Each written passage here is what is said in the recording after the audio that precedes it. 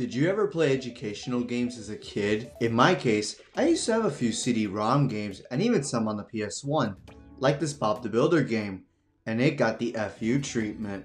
Don't make me bake this cake in real life. But what if you had younger siblings that wanted to go on your PS4? You wouldn't want little Timmy to accidentally play GTA 5 because, oh no, Video games are too violent. So what if there was a video game console dedicated to those educational games? There was the VTech V-Smile, but then some dude in California destroyed it. Well, there's this. The Leapfrog Leap TV. For those who don't know, Leapfrog is a company that specializes in educational toys and games for children. They had some portable consoles like the Leapster, and it was actually pretty good. But back to the Leap TV. This console was released on October 20th, 2014, making an 8th gen console. It was sold for $150 in the US. That's about a third of the price compared to the PlayStation 4. Because shit, money doesn't grow on trees, do they? I have a dollar! The box is pretty stupid, honestly. I mean, come on, Learn through motion? Look, Mom, I'm learning through motion. Get minds and bodies moving. Sounds like TikTok. The controller is quite weird too. It has this glowing light ripping off the PlayStation Move, which is a rip-off of the Wii. You're ripping off a rip-off. You're ripping my soul! My Dark Souls, to be exact.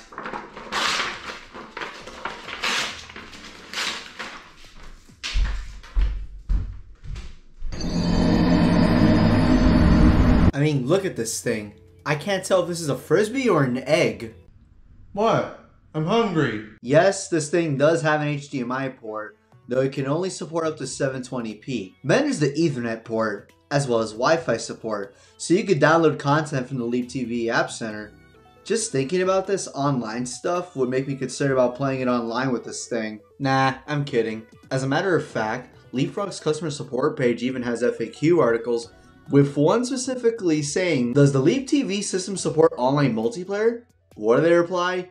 No, the Leap TV system supports local multiplayer within the same room, but does not support any games that permit a child to play with someone else over the internet. Only local multiplayer? Lame. So no worries on hearing little Timmy cussing out some other hell spawn.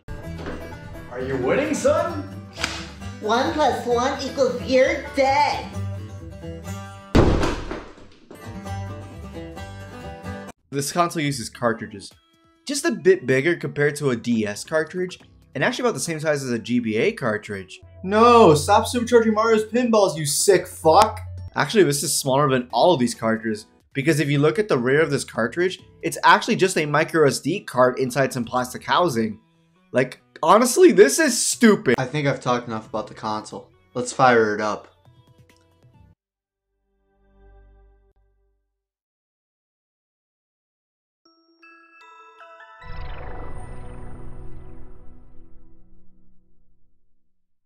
Adult supervision required? yeah, sure. Gonna need more of this. So the first game we're gonna review is Kart Racing Supercharge. Probably won't be as good as Mario Kart or Crash Team Racing, but probably competing for dog shit game of the year against Race with Ryan or Garfield Kart. So let's do a tournament and go with hard. Hard. There's eight characters to choose from. you have Mr. Pencil? They could have come up with a better name, so they just came up with Mr. Fucking Pencil. Guys, we need ideas for a new character. Who's gonna compete with Leap? You, what's your idea? What the hell do you think you're doing? This is Mr. Pencil. That's stupid, but it's a character. Let's write it down. Can I eat the glue now? No, dumbass, you don't eat glue, you snort it. Stretchy Monkey, the Roly Polies, it's also based on Rolie Polie Olie, Gadget and Bit, the Geo Team, Ty, and of course, Leap. What's with this face? Leap the Creep went to the deep to go meep after facing execution for multiple crimes against humanity during the Nuremberg trials. Oh yeah, this is definitely a Mario Kart ripoff. I mean, come on. Frog Cup, ABC Cup, Earth Cup, Fruit Cup? Let me eat my fruit cup in peace, you bitch. I just spilled my fruit cup. I'm fucking pissed! Now you would think you would just get straight to the racing, but nope. That's where the education comes in. Because Leap doesn't even have wheels to begin with. I want to die. This is pretty straightforward. You just simply match numbers, get two correct answers, and you get a power up. But how's the actual racing experience? Well, subpar, I guess. This track isn't exactly what a person would call appealing. As I mentioned before, it's a Mario Kart ripoff. You can shoot weapons, and when you actually do something interesting, your character won't shut up.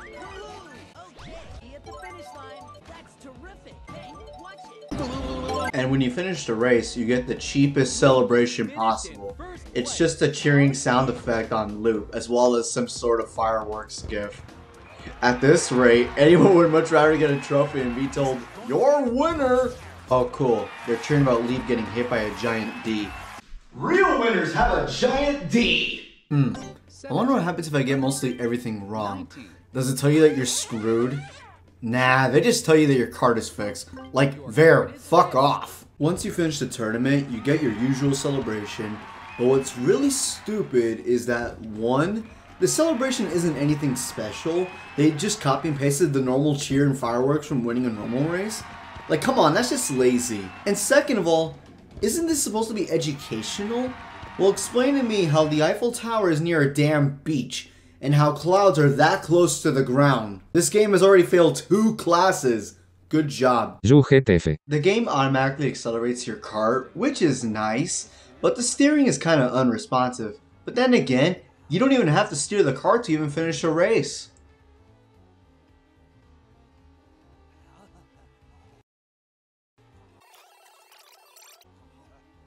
Look at that. Mr. Pencil doesn't need me. In terms of difficulty, it doesn't mean much. I could give these CPUs a 60 second head start and still win it.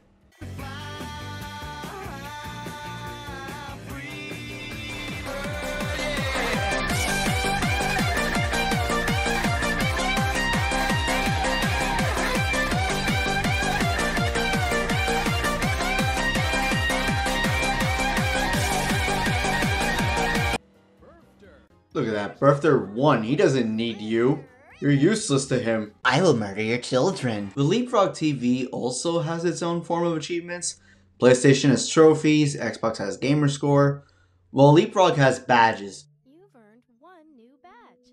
Just a golden star. I'm a star. well, hun, at least you're not a falling star. Then again, you didn't make a crater. The next game is Pet Play World. This is nothing to write home about. It's just you with some lame pet and some mini games. Even Starfall is more entertaining. It was actually educational. It made you wonder where your identity truly is. Because you know you're secretly a fucking liar. Want another ripoff? This is Pointer Training Games. It's a ripoff of the Xbox Kinect and actually uses the camera. This is actually designed to help master the controller. Who the hell is that? It's like the little AOL dial-up dude. He's quite soulless. He doesn't want to be here, he just wants to go back to his dial-up. I can just imagine he's cussing out this game. There's really nothing interesting about this. You just point at rings. As if Superman 64 wasn't enough. Shut up. So after you find out how many points you earn, you have the option to play again. I love how even the game is aware that you're not going to want to play this crap again. Play again and try to beat your score. Absolutely not. And the console just froze. Your Leap TV needs to be repaired?